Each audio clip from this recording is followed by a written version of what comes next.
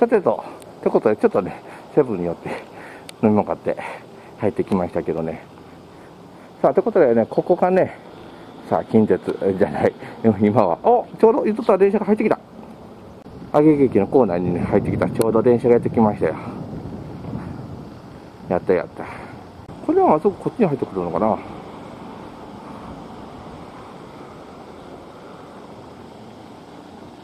あ、曲がりますね。やっぱ基本こっちに入るんですね。あ、こっちも住友電素さんになってんだ。ガラス対策でゴミ箱にこんなんかけてあるんですね。さあ、入ってきましたね。まあ、あの、四日市市民はね、そこまで珍物珍しくはない、ナローゲージではございますが、全国的に見たらすっげえ珍しいやつということでね。さあ、揚げ休憩はちょうど到着しましたけどね。これが、三義鉄道北西線のね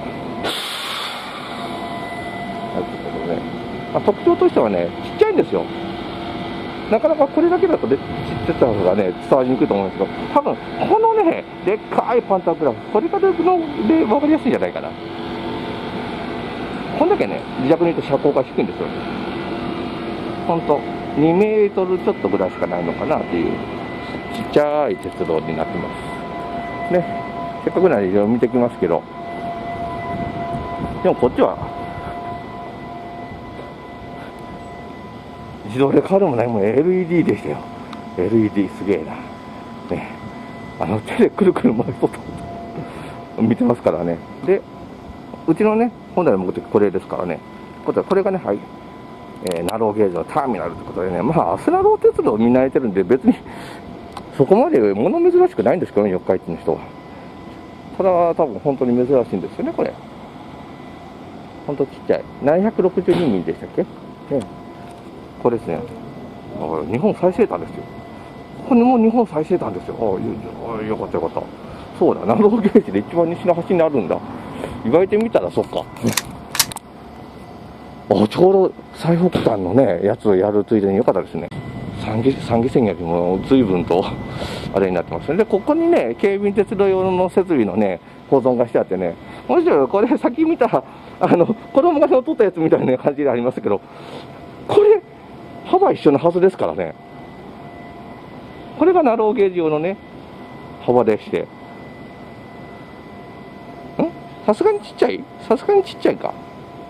さすがにちょっと幅ちっちゃいか、これは。さこれはさっきの NHK、ね。えー、やつで。あ、こちなみにこっちのターミナルでありますからね。はい、ターミナルってことでね。面白い転車台になっておって。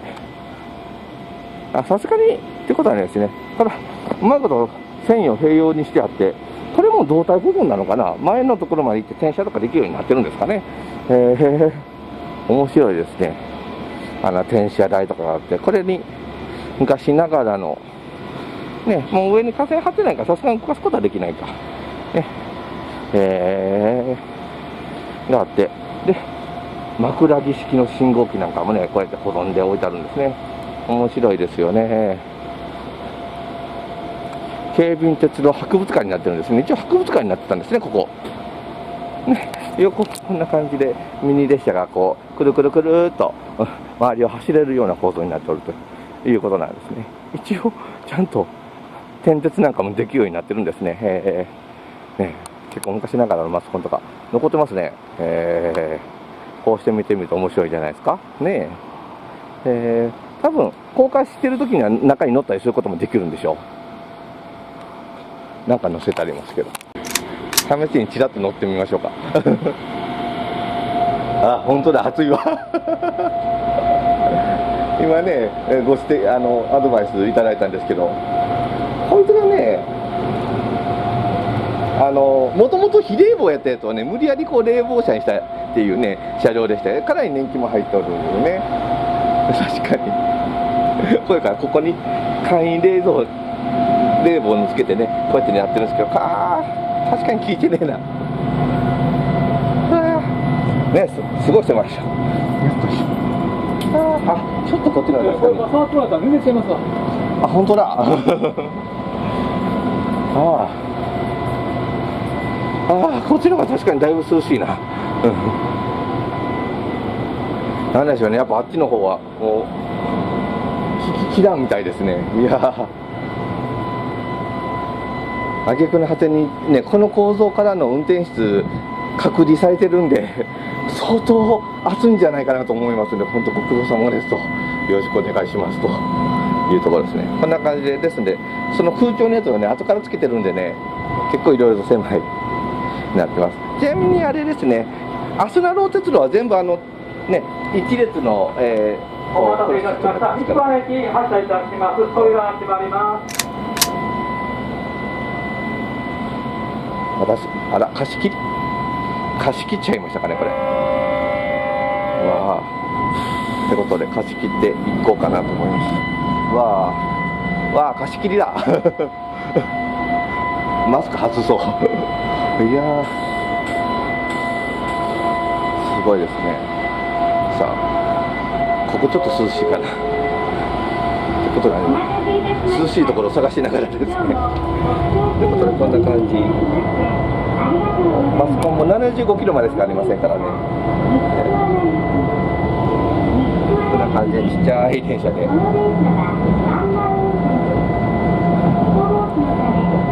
近鉄はね大あのアスナロ鉄道の方はね台車重要とかしましたけど一応新造したのに対しては北西三岐鉄道北西線は昔ながらの鉄道ね車両をそのまま、えー、魔改造して使ってるってことでここだと暑いこれはすごい暑い。ねいろいろと。だから昔ながらの車両のまんまなんですよね。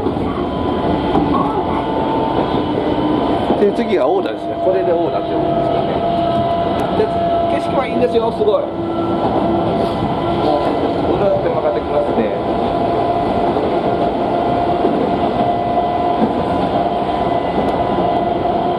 多分どうせオーダーからも乗ってこないでしょうからいろいろと探検してみましょうか。わかりますか？網棚がこの高さなんですよ。私箱乗せれますよね。これだったら。一応鉄網にはなってますけどね。とにかくこのちっちゃさがねせっかく一人なんで貸し切っちゃってみましたね。あここが涼しい。何年製造とかがねあプレート外されちゃってますけどね。相当古い車両のはずですからね。よいしょ。ここはでも優先席なのか。まあからね。あんまり優先席関係ないですからね。よし。はいねえー車内でのそのご遠慮くださいってなってますけどね。さあ一つだけ言います。ナローゲージの追加欠電車のこの音量でねどちらにしろ通話できませんから。いやーいい音しますでしょ。これでねこのね山道の中をねそう。アスナロ鉄道の方は都市の中をずっと走って平野部なんでねあのまあ、アップダウンあるのはあるんですけどこう街の中をね昔ながらの旧都街道のところをねかいくぐってこう走っていくっていう感じですけどこいつはもう本当に山の中をこうガンガンと感じですね。いやしかしあこれはね暑いわ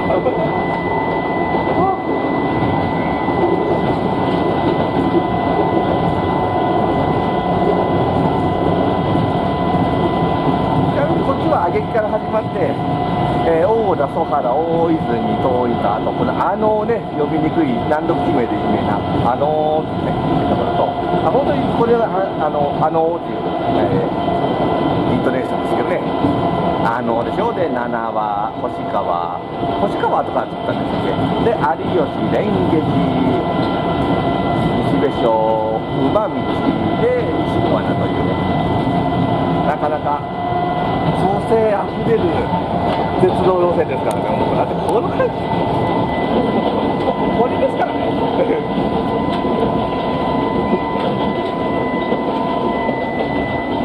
だいぶ昔ながらの中で、旧会社は、ね、ほら、扇風機ですからね。これ一応簡易送風機があるんですよ、ここに。これ送風機なんですよ。あれ送風機すらないですからね。さあ扇風機すごいでしょ